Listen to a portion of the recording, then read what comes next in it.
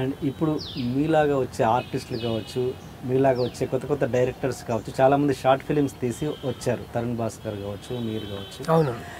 అంటే ఇవి చూసాక బయట జనాలు ఏమనుకుంటున్నారంటే ఓహో సినిమా తీయడం పెద్ద బయటికి రావడం పెద్ద చిన్న విషయమే అన్నట్టుగా చాలా మంది ఒక ఒక అపోహ మాత్రం ఉంటుంది. వాళ్ళు ఏదో ప్రయత్నాలు చేస్తుంటారు ఫెయిల్ అవుతుంటారు ఏంటి వాళ్ళకి వచ్చింది మనకు రాలేదు అనే ఫీలింగ్ ఉంటారు అలాంటి వాళ్ళకు మీ ఎక్స్పీరియన్స్తో ఇచ్చే చిన్న అంటే నేను ఇది కరెక్ట్ అది రాంగ్ అని చెప్పలేనండి. కాకపోతే ఏంటంటే అంటే వాళ్ళకి ఆ కష్టం తెలియట్లేదు. ఓహో సినిమా ఎవడైనా తీయొచ్చు అనే చాలా మంది అంటే అంటే ఇప్పుడు వచ్చిన డిజిటల్ టెక్నాలజీ వల్ల తీయడం ఈజీ అయిందండి. అంటే ఇప్పుడు మీరు అంటే ఒక- ఒక్కరుగా కూర్చొని కథ రాసుకోవచ్చు. ఆ, మీ దగ్గర ఉన్న టీం తోటి ఒక చిన్న ఒక ఫైవ్ డి కెమెరా కావచ్చు ఏ సెవెన్ ఎస్ కానీ ఇట్లాంటి కెమెరాలు రెంట్ తీసుకొని మేకింగ్ కాస్ట్ తగ్గించవచ్చు అండి కానీ డిస్ట్రిబ్యూషన్ అనేది ఒక డిఫరెంట్ సిస్టమ్ అదంతా ఇదండి కానీ ఎప్పుడు ఏంటంటే కంటెంట్ అనేది చాలా ఇంపార్టెంట్ అండి. నేను ఆడిషన్స్కి వెళ్ళినా కూడా చాలామంది మీకు నచ్చింది చేయమంటే I I vote first for that. నచ్చిందంటే ఓకే నేను ప్రిపేర్ అయ్యి ఏదైనా రాసుకొని కానీ ఏదైనా ప్రిపేర్ అయ్యి అలా చేస్తుంటాను. వాళ్ళకు కూడా సినిమా తీసే వాళ్ళకి కూడా వాళ్ళకి తెలిసిపోయి ఉంటుంది ఏది వర్క్ అవుతుందో ఏది వర్క్ కాదనేది.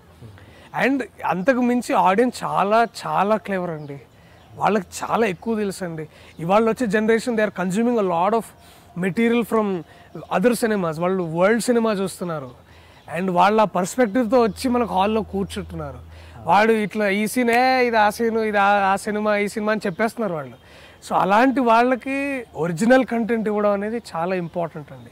అండ్ నేను ఇప్పుడు పెళ్ళి చూపుల్లో ఉంది అదే అండి ఆ- ఓకే మీరు కథ దానికి మీరు అడ అనొచ్చు ఇక్కడ ఇక్కడ రిఫరెన్సెస్ ఉండొచ్చు అని but screenplay refreshingly new అండి. ఎస్ అందుకనే దానికి అంత పేరు వస్తుంది అందుకనే అందరూ ఎక్కువగా రిపీట్ ఆడియన్స్ వస్తున్నారు. So I think it's it's a very important example ఆ సినిమా అయినా సరే ఇంకా వేరే ఇప్పుడు క్షణమైన for the matter of fact లేకపోతే ఇంకా ఉన్నాయండి ఆ సినిమాలు అవన్నీ. ఐ థింక్ ఆ కొత్త కంటెంట్ ఒరిజినల్ ఐడియా అది ఎప్పుడూ నిలిచిపోతాయండి. ఎప్పుడూ నిలిచిపోతాయి. అండ్ అది చూసే సురేష్ బాబు గారు ముందుకొచ్చారు. మీకు తెలిసి సినిమాలు తీసుకోవడానికి ఎప్పుడు ముందుంటారు లాస్ట్ టైం ఇయ్యాల జంపాలా. అవునండి అది కూడా మంచి ఫిలిం అది కూడా. It's very new screenplay refreshing idea బాగుందండి. అండ్ ఇంతకుముందు పిక్స్ల టాపిక్ వచ్చింది. అక్కడ అప్పుడు అక్కడ ఏం చేసేవాడు? ఏంటి? ఎందుకు బయటకు రావాల్సి వచ్చింది? అప్పుడు మన అసోసియేట్ ప్రొడ్యూసర్గా పనిచేశానండి అక్కడ. కార్పొరేట్ ఫిలిమ్స్ అండి ఎక్కువగా. కార్పొరేట్ ఫిలిమ్స్ లేకపోతే చిన్న చిన్న యాడ్స్ వాటికి స్టో కాన్సెప్ట్స్ రాయడం వాటిని డెవలప్ చేయడం. అక్కడ ఉన్నప్పుడు కంట్రోల్ సి అని ఒక షార్ట్ ఫిలిం అంటే ఒక ఫిఫ్టీ మినిట్స్ చేశాను. యుగంధర్ గారు అని అప్పుడు అక్కడ ఫౌండర్ ఇప్పుడు అక్కడ లేరు వారు. ఆ, ఫౌండర్గా అప్పుడు ఉన్న వారు డైరెక్షన్ చేసినప్పుడు దానికి నేను స్క్రీన్ ప్లే రాసిచ్చాను. స్క్రీన్ ప్లే డైలాగ్స్ అండ్ ఐడిగా మళ్ళీ దాంట్లోనే వారు లేదు యాక్ట్ చేయొచ్చు అని ఒక క్యారెక్టర్ చేయించడం అలాగా ఆ పనులు అది అక్కడ అవి సరిపోయినాయి అక్కడ నాకు. తర్వాత ఆ కం ఎందుకో అంటే ఒక పాయింట్ తర్వాత నాకు వర్క్స్ రావడం తగ్గిపోయినాయండి. అంటే నేను లేదండి అంటే ఎంప్లాయీనే అక్కడ. కాకపోతే ఏంటంటే రాను రాను నాకు యాక్టివ్గా విజువల్ ఎఫెక్ట్స్ గ్రాఫిక్స్ అవి నడుస్తున్నాయండి. నాకు సపరేట్గా ఒక ఎంటిటీ అనమాట నేను ఓన్లీ కార్పొరేట్ ఫిలిమ్స్ రాయడం అది.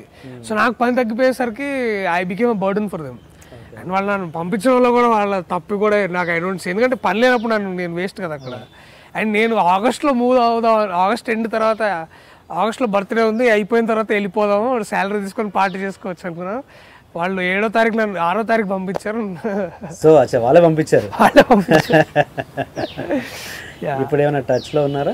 ఉన్నారండి. బాలగారు ఎప్పుడైనా బాల అప్పుడు నా ఆయన నా ఎగ్జిక్యూటివ్ ప్రొడ్యూసర్ వారు అక్కడ. బాలగారు ఆ, యుగంధర్ గారు. ఈ సక్సెస్ షేర్ చేసుకున్నారా బాలగారు మెసేజ్ చేయలేదు. నేను కలవలేదు మధ్యలో బట్ యుగంధర్ గారు మెసేజ్ చేశారు. స్టార్ అయ్యావు. లేదు సార్ మామూలుగానే ఉన్నాను. జస్ట్ వెళ్ళి చూడండి అని చెప్పాను. వారు one one fifty Chiranjeevi cinema గారిది ఆ- సినిమాలో బిజీగా ఉన్నారంట. ఇది ఎంఏ మాస్ కమ్యూనికేషన్ కదా చేసింది. చాలా మందికి అంటే నా చాలా మందికి మాస్ కమ్యూనికేషన్ అంటే పదం వినడం తప్పించి దాంట్లో అసలు ఏం జరుగుతుంది ఏంటి అనేది చాలా మందికి తెలియదు. అసలు ఏంటి అసలు మాస్ కమ్యూనికేషన్ డిపార్ట్మెంట్ ఆఫ్ కమ్యూనికేషన్లో అండి ఫోర్ స్ట్రీమ్స్ ఉంటాయండి. అంటే బేసిక్లీ జర్నలిజం రిలేటెడ్ అండి. ఒకటి కమ్యూనికేషన్ స్టడీస్ అంటే మీడియా స్టడీస్ డీప్ రీసెర్చ్ అవన్నీ ఉంటాయండి. సెకండ్ ఏంటంటే రేడియో అండ్ వీడియో ప్రొడక్షన్ అంటే న్యూస్ ఎలా చేయాలి న్యూస్ ఎలాగా తీస్తారు కంటెంట్ ఎలా రాయాలి అంటే అంటే విజువల్ కంటెంట్ అంటే ఇప్పుడు టీవీకి రాసినప్పుడు విజువల్ కంటెంట్ వేరే రాస్తారు కదండి. అలాగా తర్వాత ప్రింట్ మీడియా అండి. ప్రింట్ మీడియా పేపర్లకి రాయడం వాటికి. మేము ఉన్నప్పుడు యాడ్ అండ్ పబ్లిక్ రిలేషన్స్ ఉండేది అది తీసేశారండి. ఇప్పుడు యాక్టివ్గా మూడే ఉన్నాయండి. సో బేసిక్లీ సర్క్యులేటింగ్ మీడియా మొత్తం జర్నలిజంకి సంబంధించిన పూర్తి ఇదే బాగుంటుంది. ఇండియాలో one of the finest departments అండి. నా లైఫ్ మారింది కూడా అక్కడే. మేజర్గా అంటే. బట్ ఇది యాక్టింగ్ పరంగా డెసిషన్ పెద్దగా హెల్ప్ అయ్యే కోర్స్ కాదు కదా? అంటే కాదు బట్ నాకు అంటే నేను చదువుకున్నది అక్కడ నాకు యాక్చువల్గా వెళ్ళిపోయిందండి. అంటే అదే చెప్తున్నాను ఇందాక సమాజానికి మిర్రర్ పట్టే వాళ్ళు జర్నలిస్ట్ అని అది చెప్పారు అప్పుడు. నాకు అప్పుడు అనిపించింది అరే ఇదే ఇక్కడ ఆ ప్రిన్సిపల్ని ఇక్కడ అప్లై చేసి తర్వాత నా లెర్నింగ్ అంతా ర్యాగ్ పికింగ్ అండి. అంటే ఎక్కడ ఇప్పుడు ఒక మంచి ఏదైనా యాక్టర్ ఒక మంచి సందర్భం ఏదైనా ఎమోట్ చేసిన అరే బాగా చేశారు. ఆ కనెక్ట్ అండి. అది నాకు ఎక్కడ దొరికితే నేను అక్కడ ఏది పడితే నేర్చుకోవడం. చాలా సందర్భాల్లో ఆంథ్రపాలజీ పొలిటికల్ సైన్స్ క్లాసులో కూడా కూర్చునేవాడిని. సో అలా కూడా it was helpful to me అక్కడ సో నాలెడ్జ్ అండి. నాకు ఇప్పుడు అట్లే లేదు. ఎంత నాలెడ్జ్ వస్తే నేర్చుకుంటాను. దాన్ని ఎక్కడైనా హెల్ప్ అవుద్దని అనుకుంటాను అంతే. సో సో లెర్నింగ్ అనేది కంటిన్యూస్ ప్రాసెస్ అట్లాగే అన్లెర్నింగ్ కూడా చాలా ఇంపార్టెంట్ అని అనుకుంటాను. అది అది హెల్ప్ అయింది. క్రాస్ పాలినేట్ అయింది అండ్ యాక్టింగ్ క్లాసెస్ భిక్షు గారి దగ్గర నేర్చుకున్నావు. అది ఎట్లా? అది సో నేను పిక్సల్ అయిపోయిన తర్వాత జునూన్ అని ఒక షార్ట్ ఫిల్మ్ చేశానండి. తరుణ్ భాస్కర్ తోటి. అలాగే మచ్చానికి కళ్యాణం అని ఒకటి చేశాను. దర్శన్ అని ఇంకో ఫ్రెండ్ ఉన్నాడు. అలా ఒక త్రీ షార్ట్ ఫిల్మ్స్ చేశాను కంట్రోల్స్ అవన్నీ చేసి. సో ఏమైందంటే నేను ఫిలిం ఇండస్ట్రీలోకి వెళ్తా అంటే నాన్నగారే సలహా అడిగారు అరే నాకు భిక్షు గారిని అడుగుతాను. ఆయన అంటే సారు ఆయన నా ఫాదర్ ఫిగర్ భిక్షు గారు. అరే ఎందుకురా ఈ కష్టాలు అవన్నీ? ఎందుకు చాలా అది అని నేను ఫాదర్లా చెప్తున్నాను మీ నాన్నలాగా. హాయిగా ఏదైనా మంచి మాస్ కమ్యూనికేషన్ అదేదో ఏమైనా చదువుకో ఉద్యోగం చేసుకో హాయిగా ఉండు అని అన్నారు. నాకు మనసు ఒప్పుకోలేదు దానికి. సరే నేను ఎట్లాగైనా సార్కి నేను చేశాను ఏదో చూపించాలని వెళ్ళి చూసి చూపించా. సార్ నేను చేశాను సార్ చూడండి. అంటే ఇంటికి రారా? ఇంటికి రారా అంటే జునునా? జునూన్ చూపించా. అంటే ఏమన్నా అంటే మరీ బాగాలేదు కూడా లేదు. అది చేయాలరా ఇంకా అది ఇది లేదు అది అని. రారా ఇంటికి రా అని. అట్లా ఒక three months three three and half months కూర్చొని ఇంప్రూవైజేషన్స్ సార్ అది చెప్పేది. అండర్స్టాండింగ్ రిలేషన్ బిట్వీన్ క్యారెక్టర్స్ అదొకటి నీకు ఒక మెంటల్ జర్నీ ఉంటుంది ఒక యాక్టర్గా డెప్త్ ఉంటుంది. దాన్ని ఐడెంటిఫై చేసుకోవాలి. దాంట్లోంచి ప్లే చేయాలని. ఆ, అరుణ భిక్షు గారు మేడం గారు తను వాళ్ళు ఎక్కువ డాన్స్ స్పెషలైజేషన్ బట్ తను బాడీ లాంగ్వేజ్ అసలు బాడీ అంటే ఏంటి? దానికి మైండ్ బాడీ ఎట్లా రియాక్ట్ ఉంటుంది? How they are both beautifully connected to each other and యాక్టర్గా నీ జర్నీ కొత్త విషయం ఇప్పుడు ఒకసారి మనం విలన్ ప్లే చేస్తాం ఒకసారి హీరో ఫ్రెండ్గా ప్లే చేస్తాం. ఈ రెండింటికి డిఫరెన్సెస్ ఏంటి? ఇక్కడ ఏం నేర్చుకున్నాం ఇక్కడ అదే ఇక్కడ ఎందుకు వాడకూడదు? లెర్నింగ్ అండ్ అన్లెర్నింగ్ ప్రా అన్లెర్నింగ్ ప్రాసెస్ అది మేడం అట్లాంటి ఎన్నో విషయాలండి అంటే ఇవన్నీ కాదు ఒక టెక్స్ట్ బుక్ ప్యాటర్న్ కాదు. ఇలా ఎన్నో వాళ్ళ ఎక్స్పీరియన్సెస్ స్పాంటినిటీ ఎందుకు అవసరము?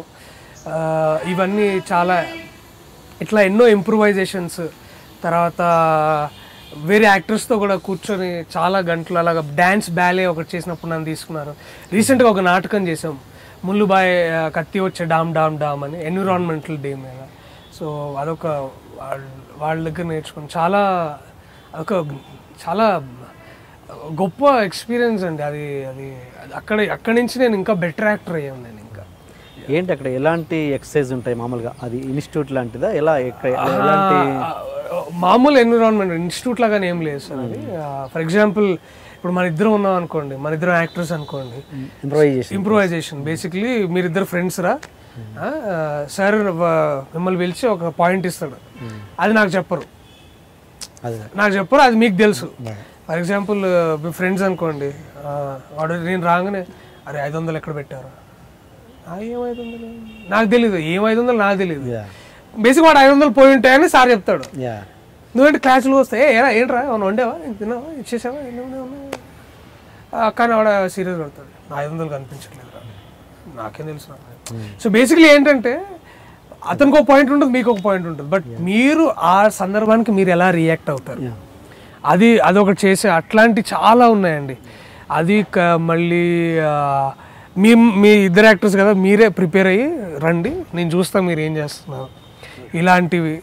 తర్వాత ఒక ఒక చాలా హ్యాపీ సందర్భంలో మీరు బాడీ ఎట్లా రియాక్ట్ అవుతుంది? లేదా సాడ్గా ఉన్నప్పుడు మీ బాడీ ఎట్లా అవుతుంది? ఇలాంటి అంటే ఈ by mind and body madam గారు నాకు ఒకటి చెప్పేవారు భరతమునిది అనమాట అది. నాకు ఇప్పటికీ బాగా గుర్తు అది నాకు చాలా ప్ర ఇంపార్టెంట్ బస్ యో అర్ధో హృదయ సంవాది. తస్య భావో రసోద్భవ. శరీరం వ్యాప్తేన శుష్కం కాష్టమివ అగ్నిన అని ఒకటి చెప్పారండి. అప్పుడు "ఏ- ఏంటి మేడం ఏం చెప్తున్నారు అనుకున్నా బట్ దాన్ని ఎక్స్ప్లెయిన్ చేశారు. అంటే లోపటి నుంచి వచ్చేది. ఆ లోపట ఉండే ఆ ఇన్నర్ ఫీలింగ్ కోర్ ఫీలింగ్ ఎప్పుడైతే నువ్వు ట్రూగా మనసుతో బయటికి చెప్తావో అది ఎలా ఉంటుందంటే ఎప్పుడైతే ఒక అడవిలో అగ్ని ఎట్లా ఎమ్మటే పాకుతుందో ఆ ఫీలింగ్ కానీ నువ్వు చెప్పేది కానీ అంత ఇదిగా ఉండాలిరా. అప్పుడే అది అంత కన్విక్షన్తో చెప్పినట్టు ఉంటుందని చెప్పారనమాట సో అప్పుడు ఏంటంటే ఇట్స్ ఇంటర్నలైజింగ్ అండి everything it's it's it's very deep inside from and it's not dialogue చెప్పడం కాదురా అది. This you you need to be what you have to be అని ఇన్ రెస్పెక్ట్ ది అది. అది చెప్పినప్పుడు అసలు అది ఐ థింక్ అది ఒక అమ్మో ఇంత ఉందా దీనికి అని నేనే చాలా రోజులు ఆలోచించానండి ఇప్పుడు కూడా ఎప్పుడైనా ఒక స్క్రిప్ట్ వచ్చినప్పుడు అదే అనుకుంటాను. అరే ఇది ఇది ఇట్లా ఉండాలి ఇట్లా ఆలోచించాలి అని వారు అది బాగా చెప్తారు నాకు అట్లా. అంటే ఇంకా ఇంకా ఎలాంటి ఇంప్రొవేషన్స్ అనేది రెగ్యులర్గా ఎనీ ఇన్స్టిట్యూట్లో ఉంటాయి. ఇన్స్టిట్యూట్లో అంటే మామూలుగా రెగ్యులర్గా ఇంకా ఏంటి స్పెషలైజేషన్ మేడం స్పెషాలిటీ ఏంటంటే సార్ వారు కాంటెంపరీగా కొన్ని అంటే డ్యాన్స్ బేలే ఒకటి చేసాం సార్ అది. అక్కడ మైసూర్లో సచ్చిదానంద స్వామి ఆశ్రమం ఉంది కదా అక్కడ కథ చేసాం అనమాట వారి స్పెషాలిటీ ఏంటంటే టెక్స్ట్ ఎంత పాతదైనా ఉండనివ్వండి. దాన్ని మోడర్న్ కాంటెక్స్లో మీరు ఎలా చెప్తారు? ఓకే. అంటే నేను కరెక్ట్ చెప్తానో లేదు తెలియదు కానీ బట్ వారు ఆ మేడం స్పెషాలిటీ అండి. వారు అది కొత్త ఒక కొత్త రూపాన్ని ఇస్తారనమాట మీరు ఎంత కొన్నిసార్లు తనికల భరణి గారు రాసిన నాటకాలు చాలా పాతవి ఉంటాయి. పాత అంటే కా- మాట్లాడుకునే విధానం కానివన్నీ మీరు కొంచెం సాధారణ నాట్య నాట్య నాటక మండలిలో ఉండే ఇవన్నీ అంటారు. ఇలాంటివి చెప్పి వాటిని కాంటెంపరీగా కొత్తగా మోడర్నైజ్ చేసి ఎలాగ ఆలోచిస్తాం అనేది అది చెప్పేవారు. అంటే ఇలాంటి ఎన్నో స్టడీ ఉందండి దాని వెనకాల. ఇవన్నీ ఏవి కూ- కూ- ఎప్పుడో ఒక సందర్భంలో మాట్లాడుతున్నప్పుడు ఇవన్నీ ఏవి కూర్చోబెట్టి వాళ్ళకి ఇది చెప్తాను. అది అలా కాదండి. ఇంకేదో మాట్లాడుతుంటాం మేడం ఆ డ్యాన్స్ అది ఎట్లా ఉంది? అది అనగానే అప్పుడు ఆ ఎగ్జాంపుల్ తీసుకొచ్చి చెప్పడం. లేకపోతే మీరు అనుకునే సాధారణంగా ఏ చెత్త సినిమా ఇది ఎవరు చూస్తాడు అనుకుంటాం కదా దాంట్లో కూడా ఆ నటీనటులు ఎంత బాగా చేశారు. ఇట్లాంటి డీటెయిల్స్ చెప్పేవాళ్ళు అనమాట సో మెంటల్ మెచ్యూరిటీ ఎంత అవసరం ఒక నటుడికి? ఒక రిసోర్స్ఫుల్ పర్సన్గా ఎప్పుడు ఉండాలి అనేది ఇట్లాంటి విషయాలు చాలా అవి ఇప్పుడు కూడా ఎప్పుడో కనిపిస్తే ఇప్పటికీ చెప్తారు వారు. అది చాలా బాగా అనిపిస్తుంది.